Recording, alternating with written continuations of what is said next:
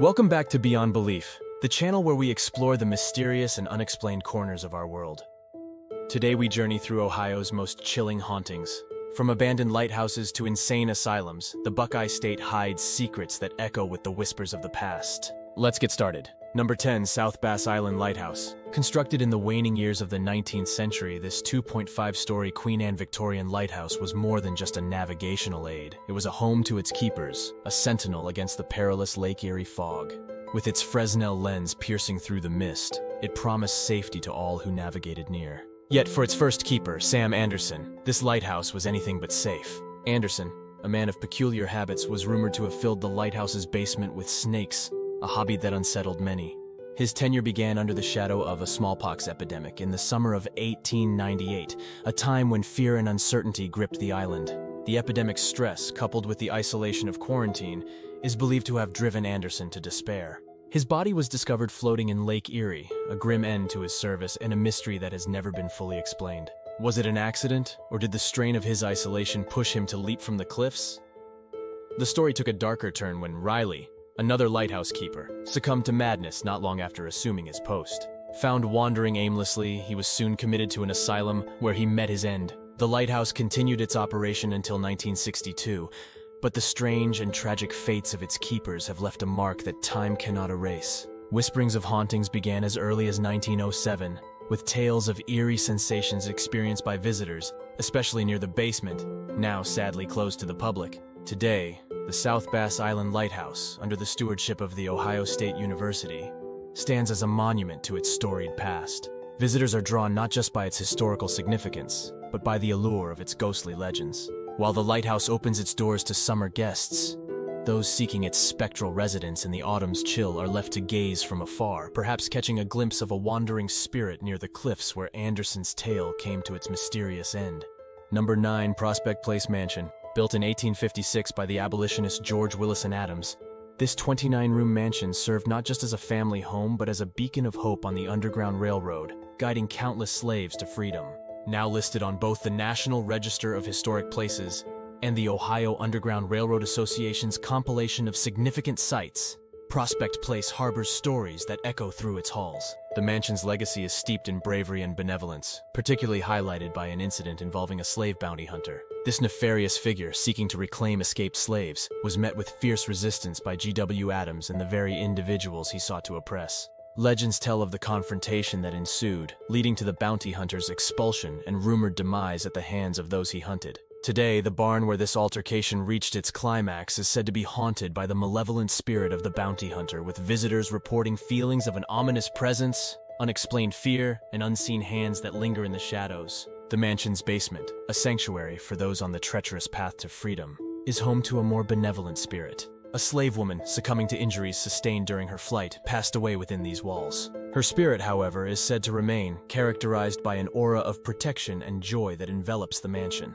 Those who have felt her presence describe encounters with a happy entity, watching over Prospect Place with an eternal vigilance born of kindness and compassion. Tragedy also touched the family directly, as seen in the story of William Cox, who married G.W. Adams' daughter, Anna. Cox, a man of wealth and stature, vanished under mysterious circumstances after leaving for a business trip.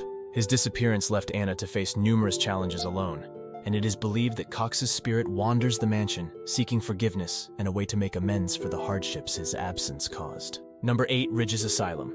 In the serene town of Athens, Ohio, lies a relic of a bygone era, now known as the Ridges, but once the Athens Lunatic Asylum. From 1874 to 1993, this sprawling institution was a beacon of hope and despair for many, from Civil War veterans seeking solace to children deemed mentally unwell. Yet beneath its noble intentions, the asylum harbored dark secrets including the controversial lobotomy procedure and ghostly sightings that chill the spine to this day. Initially occupying a modest 141 acres, the facility's footprint expanded over the years to engulf over a thousand acres, becoming the largest employer in Athens by the 1950s, with a sprawling campus of 78 buildings serving 15 Ohio counties. However, the asylum's legacy is marred by the treatments it administered. Records unearthed by Ohio University reveal a harrowing picture of electroshock therapy, hydrotherapy, and lobotomies performed without consent, reflecting a dark period in the treatment of mental illness. These inhumane practices, coupled with the mysterious circumstances surrounding the patients, many of whom were buried in unmarked graves on the property, cast a long shadow over the ridges. The asylum's eerie atmosphere is encapsulated in the tale of Margaret Schilling, a patient whose disappearance in 1978 led to a grim discovery. Her body, found weeks later in an abandoned ward, left a stain on the floor that persists despite attempts to erase it. Her spirit, along with others, is rumored to haunt the building, with sightings of her gazing from the window of the room where she met her untimely end. Even in death, the asylum's inhabitants seem restless. The surrounding cemeteries, home to one 930 souls marked only by numbers, are a hotspot for paranormal activity. Witnesses report shadowy figures darting between the headstones, and an eerie circle of graves is thought to be a meeting spot for witches. These tales of hauntings and despair underline the tragic history of a place meant for healing but remembered for its horrors. If you're enjoying this haunted tour, be sure to hit the like button and subscribe. We appreciate it so much. We've got more haunted tales ahead, and you won't want to miss a single one. If you have a state you'd like us to cover, drop it in the comment section below. Number 7, Fudge Road Bridge. Built in 1913 by the Central States Bridge Company, this bridge, also known as Crybaby Bridge, has become a focal point of local lore, intertwining the tragic with the supernatural. The primary legend that clings to the damp air around Fudge Road is a haunting tale of maternal despair and loss. It is said that in the shadows of the 1800s, a grief-stricken mother, engulfed in madness, threw her infant from the bridge into the abyss below. Some iterations of the story add a chilling epilogue. The mother, consumed by her actions, took her own life beneath the very bridge that witnessed her unspeakable deed. Locals whisper that if one dares to stand upon the bridge and call out Mama three times into the night, the baby's cries will pierce the silence, a sorrowful echo of the past.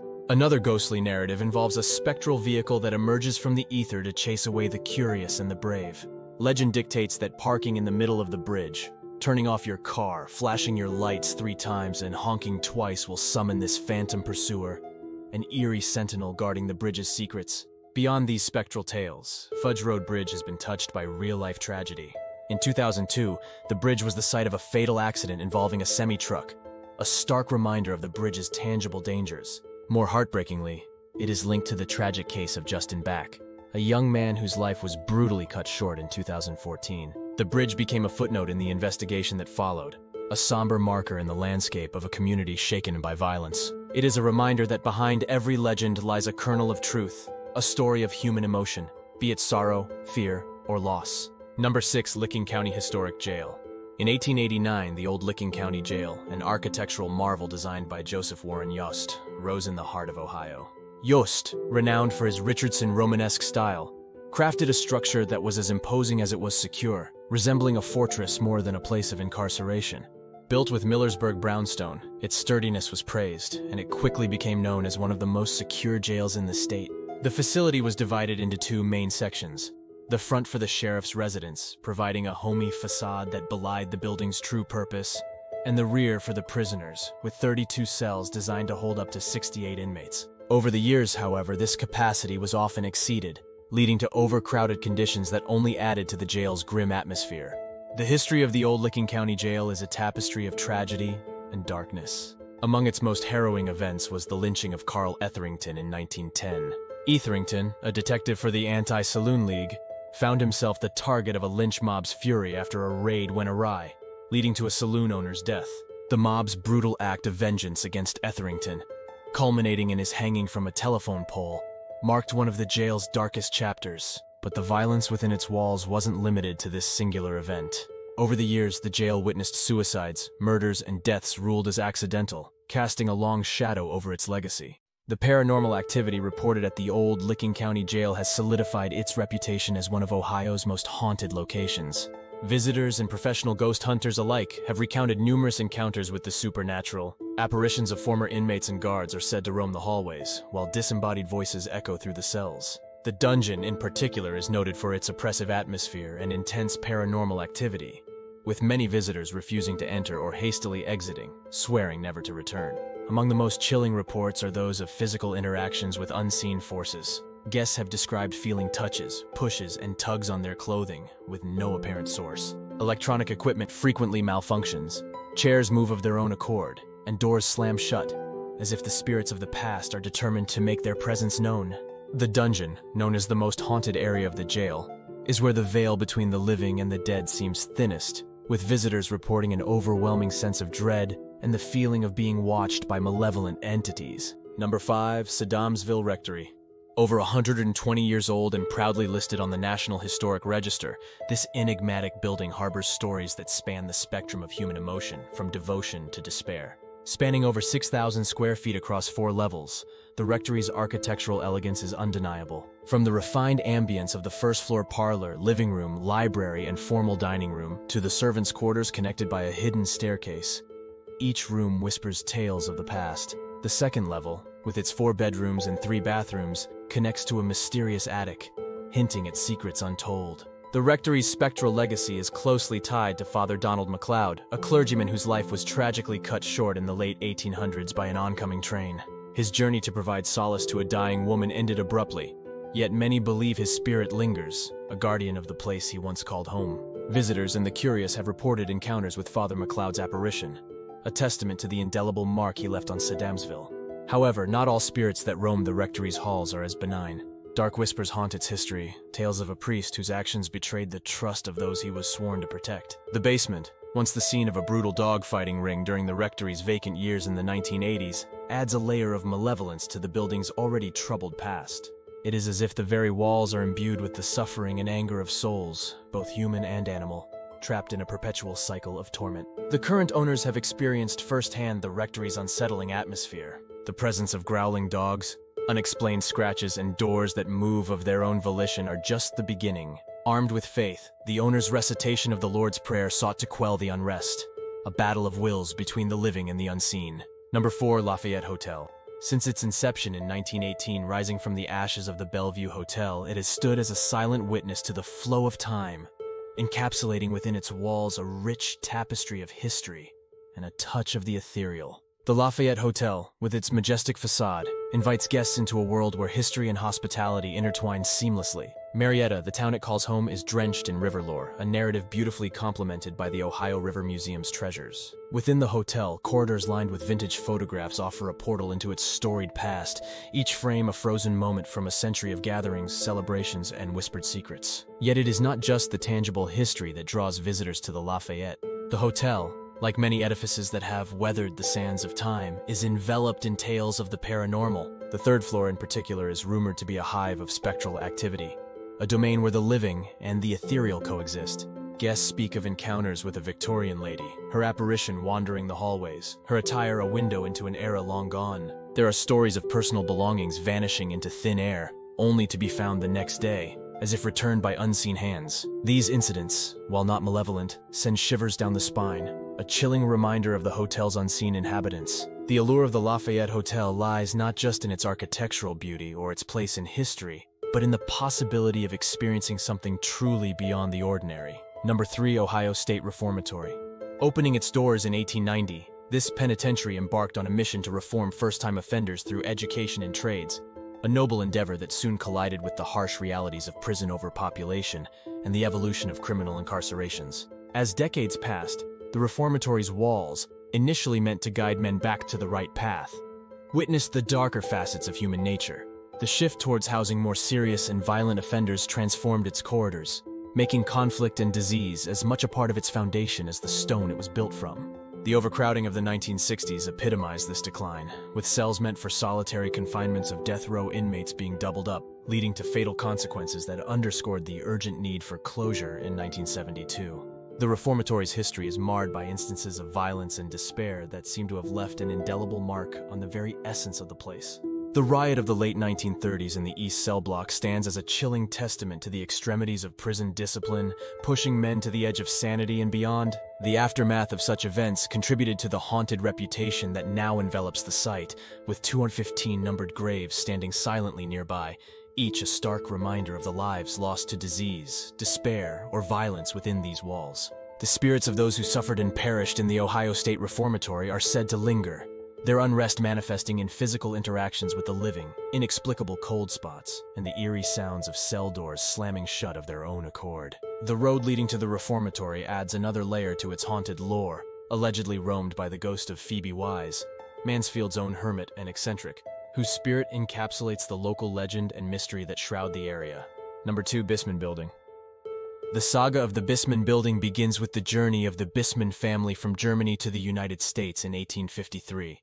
A voyage that symbolized hope and the pursuit of prosperity. The Bissman Company, established near the bustling railroad tracks for optimal logistics, became synonymous with quality groceries. From Bissman's Red Band coffee to hand-rolled Cuban cigars, serving the Mansfield area for nearly a century. Beyond its commercial success, the Bissman building has etched its place in cinematic history, most notably serving as a pivotal location for the filming of The Shawshank Redemption, transforming a first-floor room into the editor-in-chief's office of the Portland Daily Bugle and its facade into the Brewer Hotel, the building transcends its physicality, becoming a silent character in the cult classic film. Yet, beneath its historical and cultural significance lies a layer of mystery and spectral intrigue. The building is reputed to be a nexus of paranormal activity, with visitors and employees reporting eerie sensations and ghostly apparitions. One chilling tale recounts the tragic fate of F.W. Simon, a dedicated employee whose life was gruesomely cut short in an elevator accident, leaving behind a legacy that some believe lingers in the form of a spectral presence. Perhaps the most haunting narrative tied to the Bissman building is that of a young girl rumored to be buried within its basement. The potential identification of this spirit as Ruthie Bissman, a descendant of the building's original patriarch, deepens the enigma, as records of her existence and final resting place remain elusive. The psychic revelation of a little girl's spirit watching from the staircase ignites a quest for answers, intertwining the building's physical legacy with the spectral echoes of its past. Number 1. Molly Stark Sanatorium In the heart of Stark County, Ohio lies the remnants of Molly Stark Sanatorium, a structure that whispers tales of a bygone era. Named after the revered wife of General John Stark, this sanatorium was birthed from necessity, designed to cradle the growing number of tuberculosis patients within its walls. The journey of Molly Stark began with a community's resolve, manifested through a $750,000 bond approved by voters in 1927, setting the stage for a 150-bed haven for the afflicted. Molly Stark's design was a testament to progressive healthcare, with bedridden patients ascending from the upper echelons of the building to the freedom of the grounds as their health returned. The expansion during Governor Frank Lausche's era marked a significant milestone, not just in capacity, but in the fight against tuberculosis evidenced by the dramatic decline in deaths from the disease. However, the winds of change brought with them antibiotics, rendering specialized asylums obsolete. Molly Stark's transformation into a general hospital was a brief chapter before its eventual closure in 1995, leaving behind a shell filled with memories and questions about its future. Despite various proposals, the daunting costs of asbestos removal and rehabilitation led to its acquisition by the County Park Board for a mere dollar, turning it into a space for the community albeit haunted by its past. Since its closure, Molly Stark's sanatorium has become a siren call for urban explorers and paranormal enthusiasts drawn by tales of apparitions, orbs, and disembodied voices. The lower levels in particular hold a palpable tension, a stark contrast to their intended purpose for the healthiest patients. The sanatorium's heavy air, laden with the echoes of those who once roamed its halls, beckons the curious and the brave. Thanks for joining us on this ghostly journey through Ohio. Don't forget to like, subscribe, and hit the bell icon for more videos from Beyond Belief. It helps out a lot. Thank you to all of our subscribers. Until next time, guys, keep exploring the unexplained.